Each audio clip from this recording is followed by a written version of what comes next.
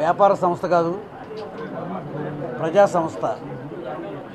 ప్రజలకి సౌకర్యవంతంగా సులభంగా సురక్షితంగా గమ్యాలకు చేర్చే సాధనం ఏపీఎస్ ఆర్టీసీ ఆర్టీసీ నష్టం వచ్చినా కూడా ప్రజల యొక్క వాళ్ళ మీద టికెట్ ధర పెంచకుండా ఆ నష్టాన్ని ప్రభుత్వమే భరాయిస్తూ ఇది కేవలం పేదవారికి మధ్యతరగతి వారికి ఈ యొక్క రవాణాను ఉపయోగించుకుని సౌకర్యవంతమైన సుఖమైన ప్రయాణం చేస్తూ ఉన్నారు.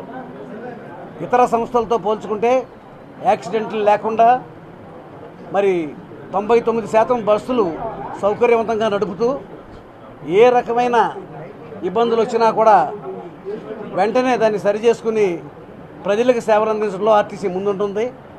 ఇవాళ రోజున ఆర్టీసీలో కార్గోను కూడా డెవలప్ చేస్తూ ఉన్నాం.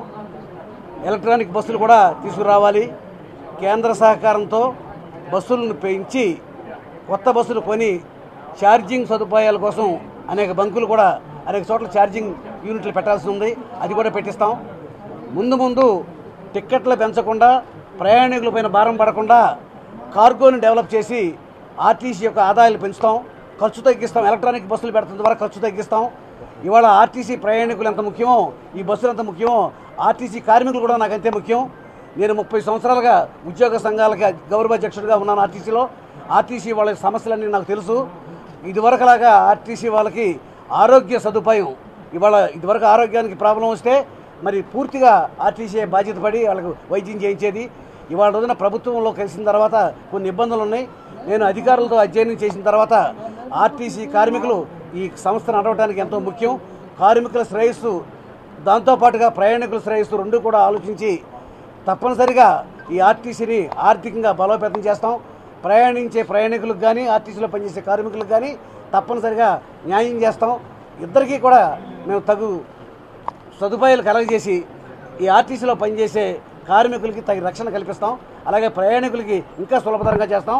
కార్గోని విస్తరించి కార్గో ద్వారా ఈ ఆర్టీసీ యొక్క ఆదాయాన్ని పెంచుతాం.